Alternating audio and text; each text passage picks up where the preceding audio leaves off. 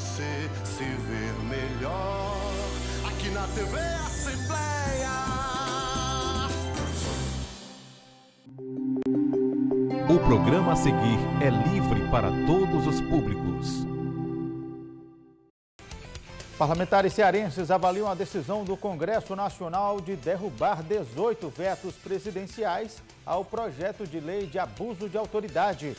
Comissão de Saúde da Assembleia Legislativa põe em pauta o câncer do aparelho digestivo.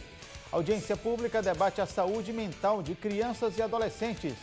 E na segunda reportagem especial Drogas, é possível um novo caminho a rotina dos dependentes químicos nos espaços de recuperação. Começa agora o primeiro expediente desta quinta-feira, 26 de setembro de 2019.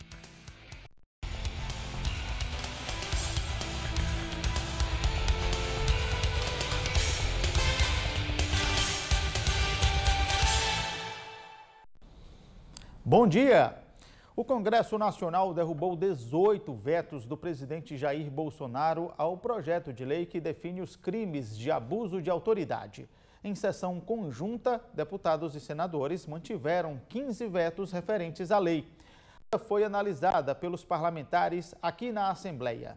A lei de abuso de autoridade havia sido sancionada pelo presidente Jair Bolsonaro no início deste mês, com 33 vetos. Com a votação desta terça-feira, o Congresso determina a reintegração de 18 itens ao texto da lei. Com a derrubada dos vetos, agentes públicos, incluindo juízes e procuradores, poderão ser punidos criminalmente por diversas condutas, incluindo algumas práticas utilizadas em investigações. Um juiz que decretar condução coercitiva sem intimação prévia do investigado ou da testemunha, por exemplo, poderá responder criminalmente. Também é crime insistir no depoimento de uma pessoa que já tenha decidido ficar em silêncio ou que tenha decidido pela presença do advogado e esse não esteja presente. Negar o acesso aos autos do processo ao interessado, ao advogado ou ao defensor também se caracteriza abuso de autoridade. Para o deputado Acrísio Sena, o Congresso acertou ao manter boa parte da lei como projeto original.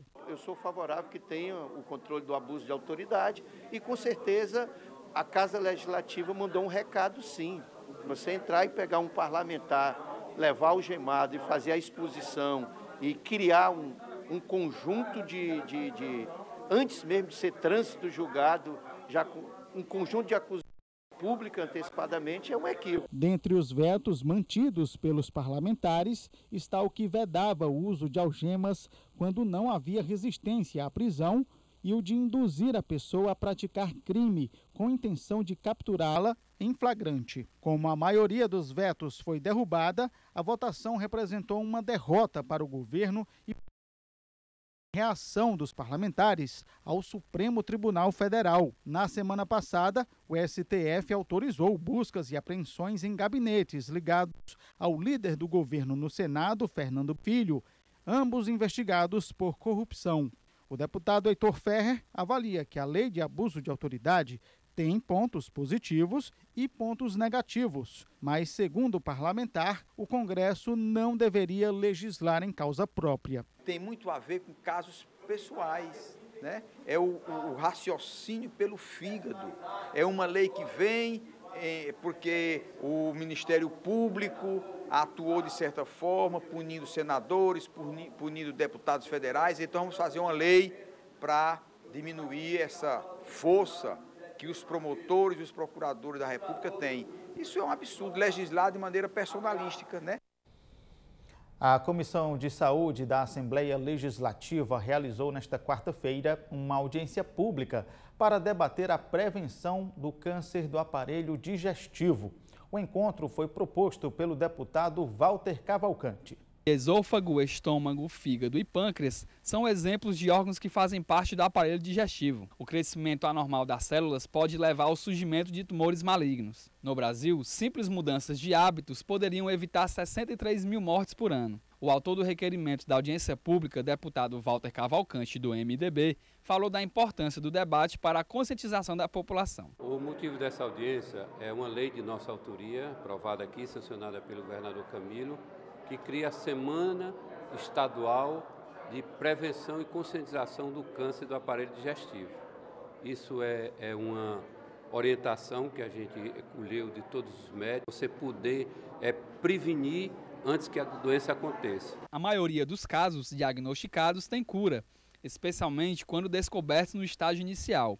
Há várias formas de tratamentos para combater o câncer. A cirurgia é o procedimento mais comum junto com medicamentos, radioterapia e quimioterapia. O representante do Conselho Estadual de Medicina ressaltou os desafios na área da saúde para quem sofre com a doença. Falta é, uma organização melhor de exames para poder fazer o diagnóstico da doença, exames para o tratamento, o acompanhamento e medicação. O chefe do Departamento de Cirurgia da UFC afirmou que o Estado tem os mecanismos para atender os pacientes. Ele falou também que é necessário uma campanha para informar a população. A base do sucesso do tratamento de todo tipo de câncer é a prevenção. Né? Só prevenindo adequadamente né, que a gente consegue realmente obter índices de cura muito altos. Então, toda e qualquer iniciativa que busque é, melhorar as formas de prevenção existentes, ela, elas são muito salutares para o tratamento dessa doença. Vocês podem ver que existem vários tipos de câncer que já, já tem isso muito bem definido, né? o câncer de mama, o câncer de próstata, né? O Tribunal de Contas do Estado do Ceará divulgou o resultado do monitoramento dos portais de transparência municipais referente ao ano de 2018. O repórter Jânio Alves tem mais detalhes desse levantamento ao vivo. Bom dia, Jânio. Bom dia, Tiago. Bom dia a todos. Essa média é numa escala de 0 a 10 e esse índice que você citou, Tiago, ele é um pouco menor em comparação ao ano passado. Estou aqui com Reuben Bezerra, ele é gerente de fiscalização de tecnologia e informação do TCE. Muito bom dia, Reuben. Por que, que o TCE faz esse monitoramento? Qual é o objetivo? Bom dia, Jânio. Bom dia, telespectadores. É, o tribunal faz esse trabalho visando buscar é, o nível de transparência que os portais de transparência dos entes de, municipais possuem. E o que, que, representa esse resultado? Ele ficou um pouco abaixo do, do ano passado, né? O que, que representa isso? É. É, vale ressaltar que o resultado foi muito bom, né? é, o, o, a nota das prefeituras foi 8,56 e das câmaras foram 8,66, mas comparando com o do ano passado foi um pouquinho menor, mas há uma justificativa. Né? Nós intensificamos um pouco mais alguns itens verificados, itens que não puderam ser verificados nos anos anteriores, nós conseguimos intensificar um pouco mais esse ano. Como é que é feito esse cálculo na prática? Bom, nós avaliamos basicamente 37 pontos é, retirados da base legal, né? basicamente é a lei da transparência e a lei de acesso à informação, e nós fazemos esse trabalho dividindo em três grupos. O primeiro grupo, que é o grupo do, do endereço eletrônico, para saber se o endereço eletrônico está dentro de um padrão. Sim. O segundo grupo é o da gestão fiscal, onde nós verificamos toda aquela parte de documentação obrigatória que os entes têm que publicar. E o terceiro grupo é um grupo mais abrangente, que são informações gerais, informações sobre ah, os, os, prefeitos, a, os, os, desculpa, os prefeitos e os vereadores, os vereadores é, informações de licitações, de convênios, dentre outras informações. Muito obrigado, Reuben, pelas suas informações, então, tá certo? Por enquanto é só, a gente volta daqui a pouco. Tiago, com você. Obrigado, Jânio. Veja daqui a pouco, a audiência pública na Assembleia debate a saúde mental das crianças e adolescentes. Agora são 8 horas e 32 minutos. Nós voltamos em instantes.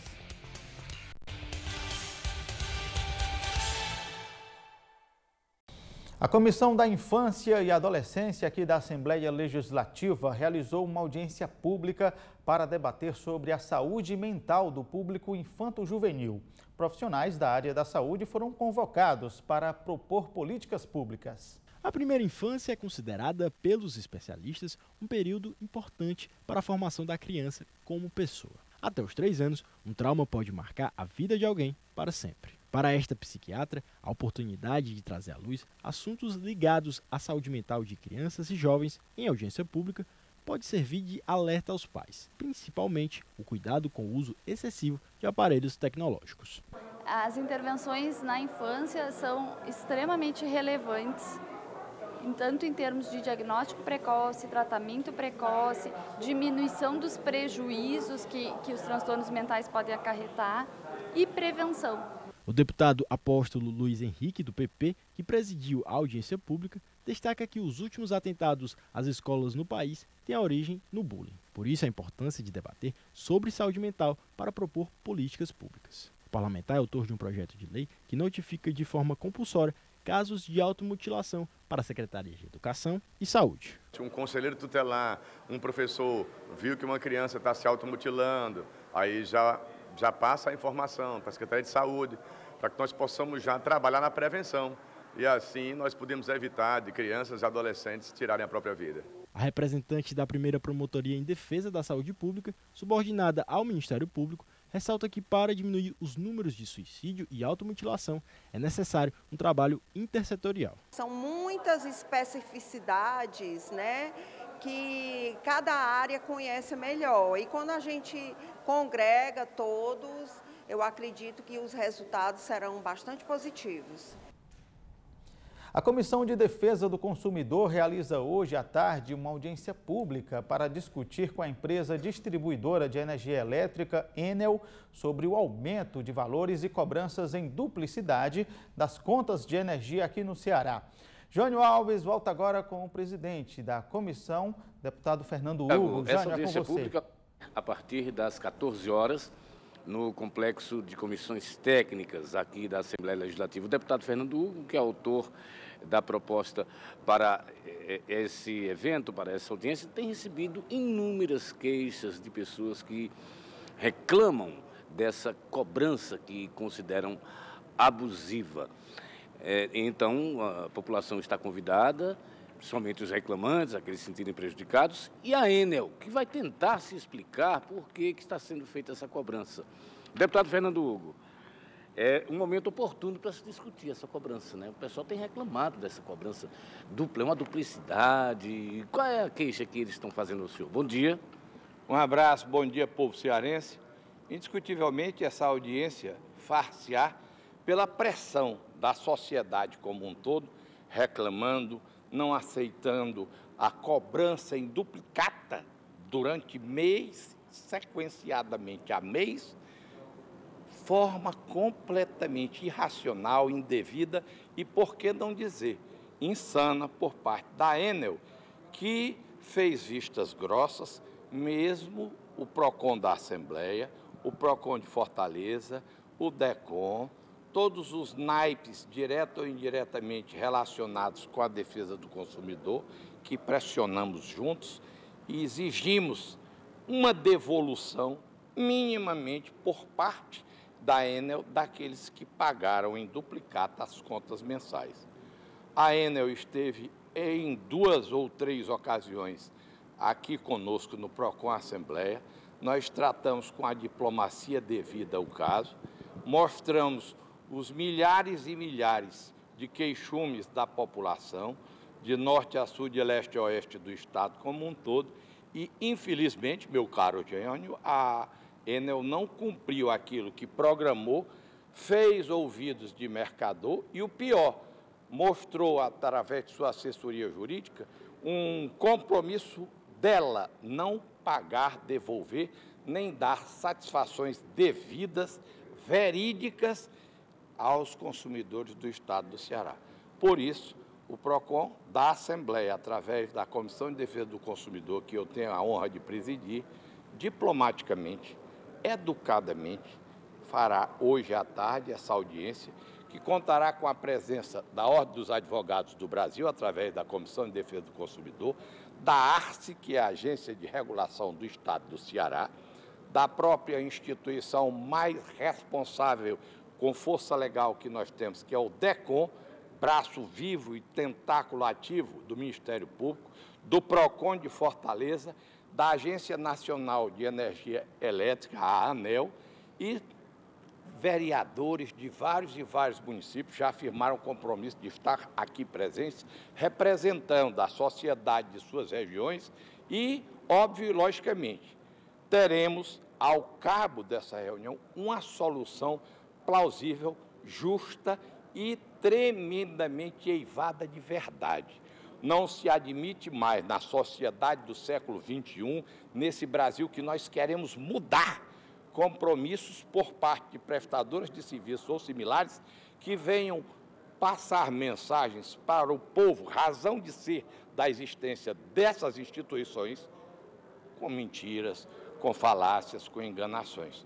Torço bastante e a diretoria da Enel Fortaleza, Ceará, já expressou o seu desejo de estar presente. Serão bem-vindos, contanto que a gente tenha, torno a repetir, ao cabo dessa audiência pública, uma solução que dignifique o consumidor, que valorize o usuário, razão de ser da existência da Enel como empresa distribuidora de energia elétrica. Deputado Fernando, muito obrigado pela sua presença. Reforçando o convite aí para vocês participarem dessa audiência pública que vai discutir esse tema que é muito polêmico diante das queixas e reclamações. 14 horas, 2 da tarde, no complexo das comissões técnicas aqui da Assembleia. Com você, Tiago. Ok, Jânio, obrigado pelas suas informações. Veja a seguir, nós vamos mostrar a rotina dos dependentes químicos quando saem das unidades hospitalares. No próximo bloco, você confere a segunda reportagem da série especial Drogas é Possível um Novo Caminho. 8h41, a gente volta já.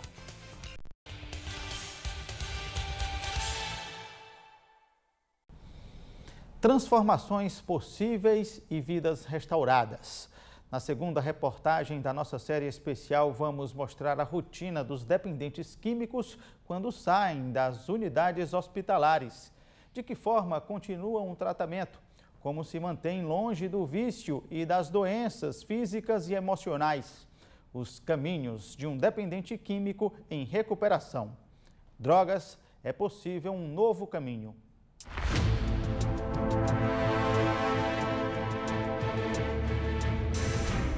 Natalícia tem 24 anos. No rosto, as marcas do sofrimento.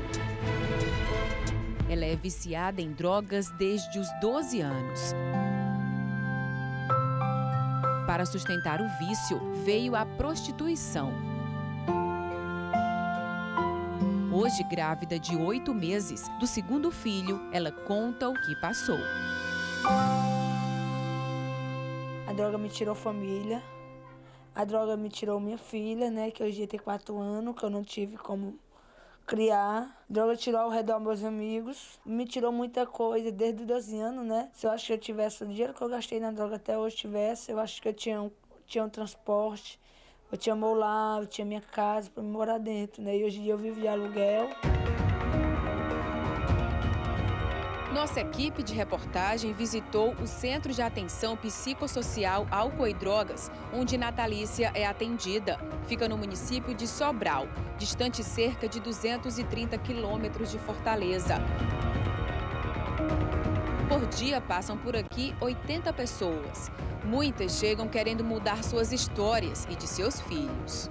Muitas vezes a gravidez não é desejada, não é planejada e às vezes nem aceita é, né? Aí acaba acontecendo um risco maior para a gestante e para o bebê, né? Óbitos ou então doenças que, acometidas pela Isso, óbitos ou qualquer outra, ou qualquer outra doença, comorbidade ou clínica, né, diante de tanta comorbidade social. CAPS AD de Sobral faz parte de uma rede de atenção integrada, que envolve postos de saúde, hospitais, centros especializados para a população em situação de rua e agora um espaço de convivência. Novinho, o equipamento será inaugurado esse semestre e deve ofertar cursos de profissionalização com o intuito de reinserir dependentes químicos em recuperação no mercado de trabalho promover propostas de geração de emprego e renda. Porque a gente compreende que existe um preconceito grande com as pessoas que fazem uso de substâncias e tem problemas, né? Elas estão aí ao longo da vida perdendo é, é, muitas chances, né? E o mercado ele é muito agressivo no sentido de aceitar pessoas que já passou por alguma situação como essa.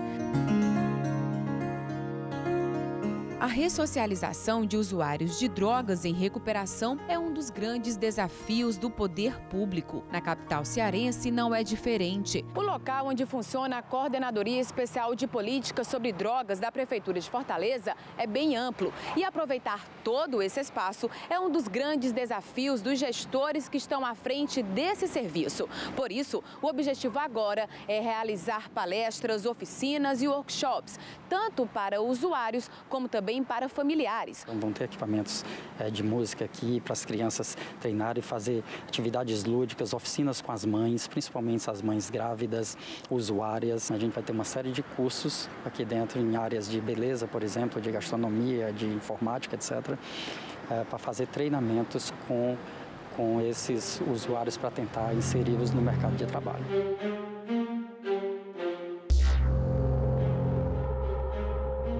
Mas qual é o caminho de um dependente químico que busca ajuda para se tratar?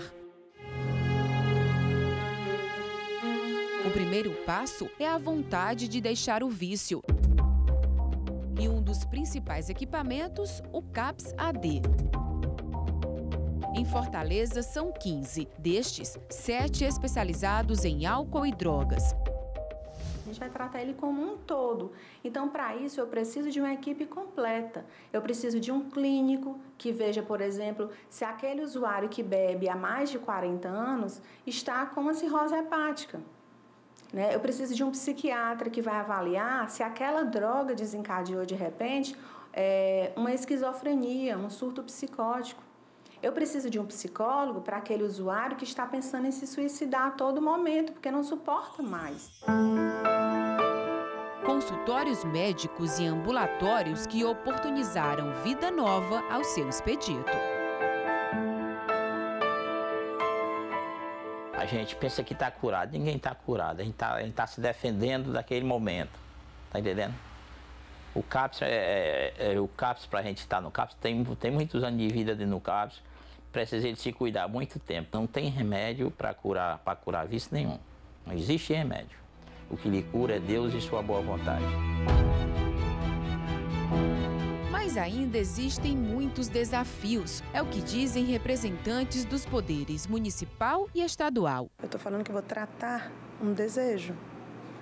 Então, tratar um desejo é um negócio muito complicado. É fácil você fazer uma desintoxicação, mas quando você faz uma desintoxicação que você devolve a pessoa para a vida dela, para a família, para a comunidade, essa comunidade também tem que ter formas de, de oferecer, essa família, essa comunidade tem formas de oferecer essa melhora das habilidades da pessoa para ela enfrentar os problemas do dia a dia, para ela enfrentar as, as, as próprias frustrações.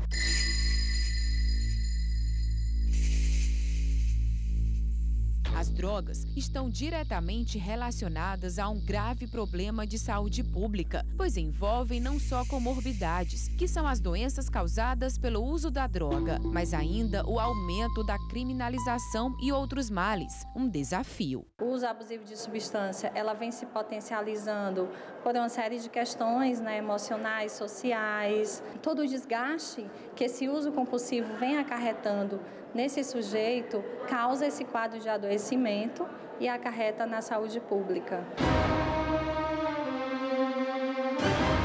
Dizer não para as drogas parece ser uma tarefa fácil, mas nem sempre é.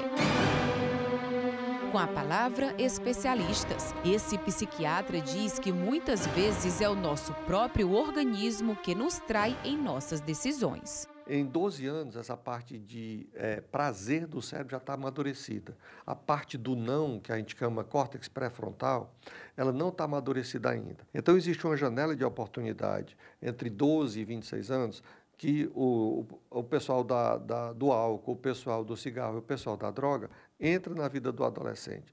Porque é muito mais fácil transformar esse garoto em, em um dependente químico do que uma pessoa com 28, 29, 30 anos porque o seu cérebro está tá amadurecido. Então é fundamental que os jovens se, é, se conscientizem de que eles são responsáveis pelo amadurecimento cerebral. Ter o acompanhamento de profissionais da saúde especializados e a atenção da família são alguns dos segredos para sair do mundo das drogas. Eu espero agora ter um emprego, dado, bom e melhor meu filho, né? É reconquistar tudo que eu perdi, não como os bens, mas sim a, a minha família, né? Eu quero ter um futuro ter um futuro para mim, para mim poder dar esse futuro para meu filho. E você acha que essa força vem do Davi? Essa força vem dele, né? Silvia Helena, 45 anos, casada, mãe de duas filhas, diarista, dependente química por mais de 20 anos, alcoólatra, em tratamento há um ano. A gente pensa que o álcool é menos pior do que as outras drogas. É igual, é igual, é impressionante o, a destruição que o álcool traz dentro de uma pessoa e de uma família. Foi a vida de humilhações e perdas que Silvia deixou para trás. Consegui de volta tudo que eu tinha perdido autoestima, dignidade, respeito. Já posso olhar para alguém e dizer assim: não me chame, me respeite, eu não estou embriagada. Hoje é vida nova. Hoje é vida nova. Permanecer longe do vício não é tarefa fácil. Quem lida diretamente com o problema diz que o comércio da droga é grande, mas as alternativas para vencê-las são maiores ainda. A aposta é na política de ressocialização. É criar programas que atendam a família, que atendam a participação social, que encontrem esse sujeito no seu aspecto social, no seu aspecto afetivo, no seu aspecto de desenvolvimento produtivo. Né? Ninguém passa a usar drogas ou se debilitar tanto com o uso de drogas por uma simples questão de escolha. Boa tarde, meu nome é Aldenir, livre do álcool só por hoje. Boa tarde, meu nome é Leonardo, limpo das drogas só por hoje. Boa tarde, meu nome é Douglas, limpo das drogas só por hoje. Só por hoje eu tô limpo, só por hoje eu tirei um sorriso da minha esposa, só por hoje eu tô dando de graça que um dia eu recebi de graça, né, ajudando pessoas.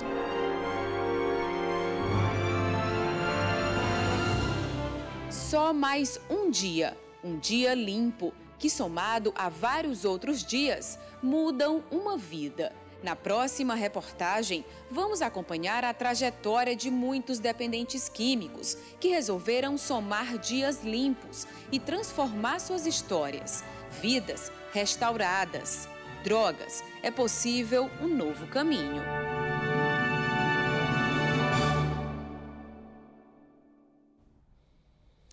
Primeiro expediente fica por aqui. Mais notícias no Jornal Assembleia, que começa às 10 para 7 da noite.